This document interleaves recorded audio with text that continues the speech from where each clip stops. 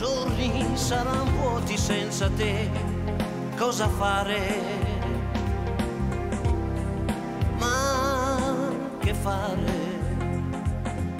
I don't think that concrete is in the blood, it's thicker than blood. And in the right hands, it can be a real work of art.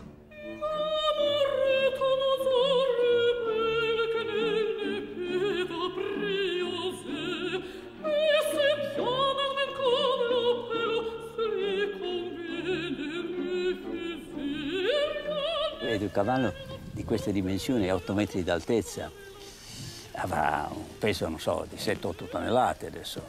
È fatto di una struttura metallica, ci ho buttato dentro stracci, eh, ho riciclato eh, rottami vari, vecchie sedie, poltrone, pellicce, c'è anche una grossa pelle di canguro lì dentro. Cosa pazzesca, eravamo in ufficio, ma si era un po' rovinata.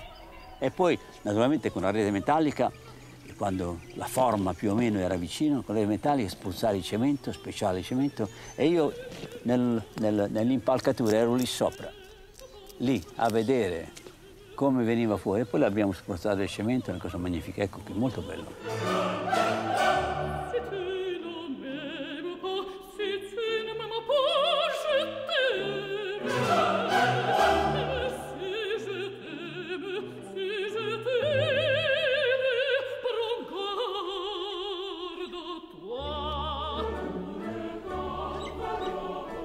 Qui in Australia forse questo qui è una specie di simbolo di questi cavalli generosi che lottano e corrono e magari sono stanchi, si accostano per un po' e poi riprendono la corsa. Ecco un po' anche la, la, la mia, il mio destino di questo paese, arrivare, correre, pigliare eh, respiro e riprendere la corsa. A 85 anni ne ho fatte di strada.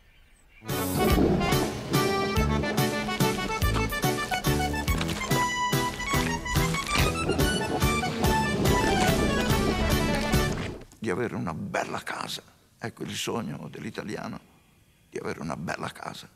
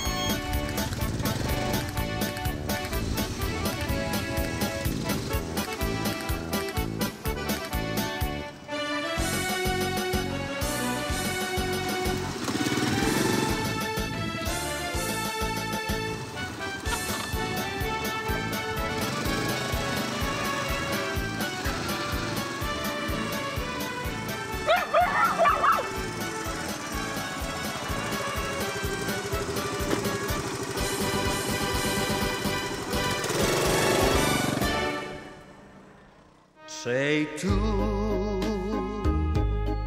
lo splendore dei sogni miei che vive in me. Sei proprio tu, anima mia, che sento in me, che voglio avere accanto a me, vicino a me, solo per me.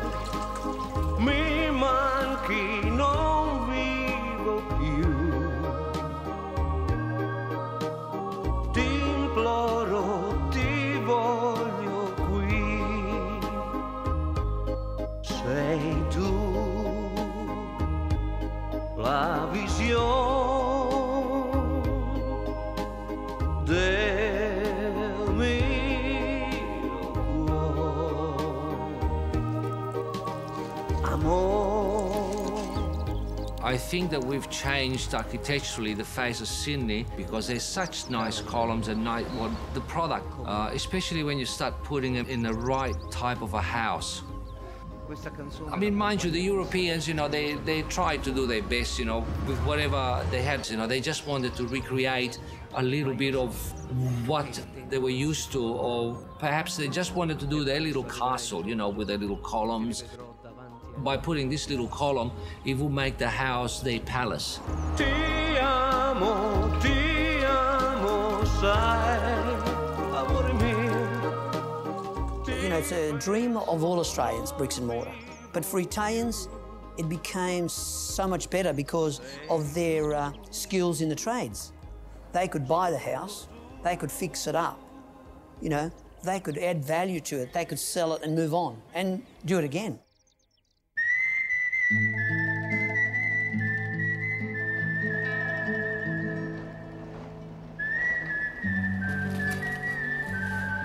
For we are God's fellow workers. You are God's field, God's building. By the grace God has given me, I laid a foundation as an expert builder and someone else is building on it. But each one should be careful how he builds. No one can lay any foundation other than the one already laid, which is Jesus Christ. 1 Corinthians chapter 3 verses 9 to 11. You can go to my grandfather, he was a fisherman, but he could lay concrete. He could lay concrete, he could do tiles. He, was a perfectionist in everything he had to do.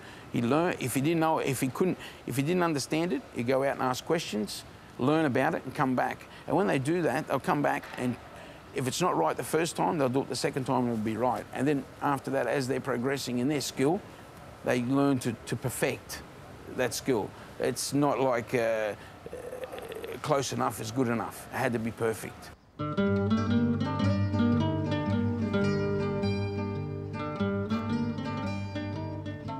Using concrete, the ancient Romans built about 8,500 kilometers of roads, Roman baths, the Colosseum, and the Pantheon. The most famous ancient use of concrete in one of the most historically and architecturally significant buildings of the ancient world. One story goes that to build the dome, they packed the inside with dirt right up to the roof, carefully molding the roof in dirt before directly pouring the concrete onto it. Now this is where the real Italian ingenuity comes into play. To get the dirt out, the builders announced that buried in it were gold coins. So what happens? Every Roman turns up and starts shoveling and digging the dirt out for free. And there you have it, the birth of the first clever developer.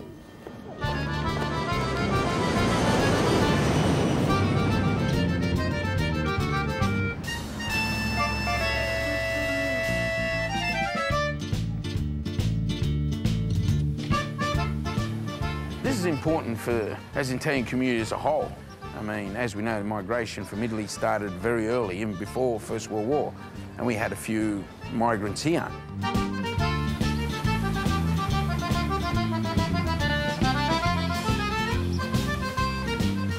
In Leichhardt and this area here, the inner west, there's one type of uh, community, and they came out here.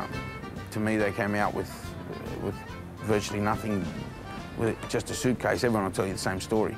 They come out with a suitcase. So when they're coming out here, they're struggling, uh, uh, taking on family that's back home or bringing a family over with them. Outside of Italy, this has never been created. Nowhere in the world this has been created.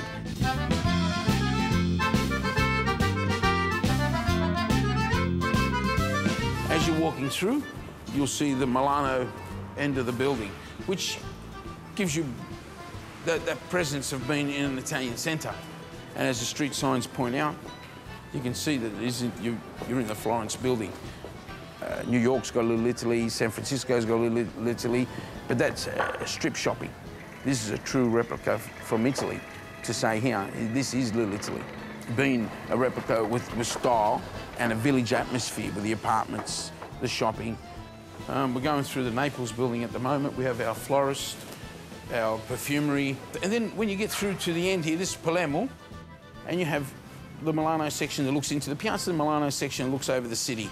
Are you, are you going to encourage the, the, kind of Italian thing where it's going to be quite chaotic with the uh, with the, the, the, clothing hanging over the, the No, the clothing, no. That, that side of it. The clothing, we, we, we do encourage the plants, putting out pots, plants, um, uh, different seasons, different plants. Yes, we encourage that. But having the, um, the actual clothing, no. The whole centre is not to be a gimmick. It is a, a true village. Atmosphere with style, the Italian style, and finishing. This is the, the Rome now. We're coming from Milan to Rome, and this changes the look again. What we had in the Milan was a colonnade effect of narrow shop fronts, similar shop fronts all throughout, but again, the look of the walkways change. This is a, a grand esplanade type look, where there's a more of a narrower colonnade look. Oh, we, we try to be diplomatic. So we picked two from the north, which is your Milan and Florence. Rome is in the middle, and you got two from the south, which is your um, which is your Naples and Palermo.